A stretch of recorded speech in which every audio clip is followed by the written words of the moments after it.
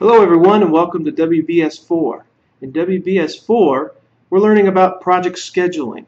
This is all about determining how long it's going to take from beginning to end to deliver this project. The trick is you can't really know how long the overall project is going to take until you've sequenced or produced a logical sequence of all of your activities. Remember that some activities happen in series, one after another, while others happen in parallel. For instance, let's take it something as simple as making a cup of coffee. We know that if we added up all the times of all the activities required to make a cup of coffee, from putting in the coffee, the water, brewing it, getting your cup, your cream, your sugar, your spoon, if you added up all those times, uh, that would not be the accurate view of how long it takes to brew a coffee, uh, cup of coffee. And the reason is brewing, coffee brewing, takes longer than anything else. So while the coffee is brewing, you can do other things like get your cup, cream, sugar, spoon. So there's a lot of things that can be done in parallel, although brewing is on the longest path of uh, the uh, schedule to brew a cup of coffee. Now other things must be done in sequence. For example, you can't brew coffee unless you've poured in water and uh, put in your coffee grounds and put in your filter and so on. That's a simple example, uh, and we could obviously see which path is the longest in brewing a cup of coffee. The problem is uh, very complex projects with hundreds and maybe thousands of tasks or even tens of tasks. It's sometimes not so easy to determine which is the longest path, which is why we have an algorithm we use to determine what the longest path is. That algorithm uses the forward pass and then the backward pass. And the whole purpose for this is to determine which path is the longest.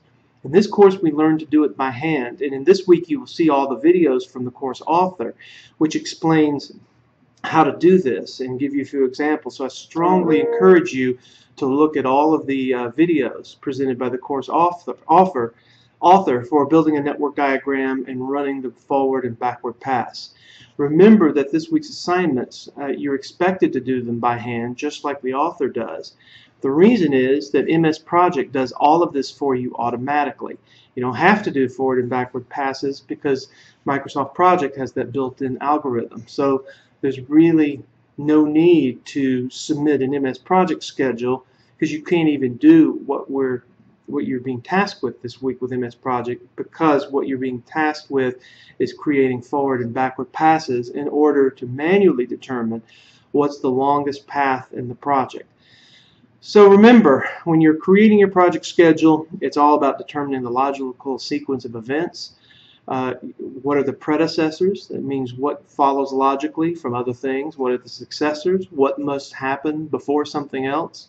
What happens in series? What happens in parallel? Using the algorithm of the forward and backward pass so you can determine which path is the longest.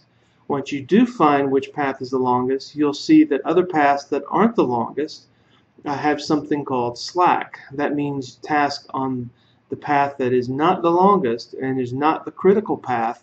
Uh, you can start things later and still not delay the whole project. So you may ask why the emphasis on finding the project critical path? Well, the critical path is the longest path in the project and it's the shortest possible time in which you can complete the overall project. Also, if any activity on the critical path slips, or is delayed in some way, the overall project is delayed. So it's very important that you know how to determine this.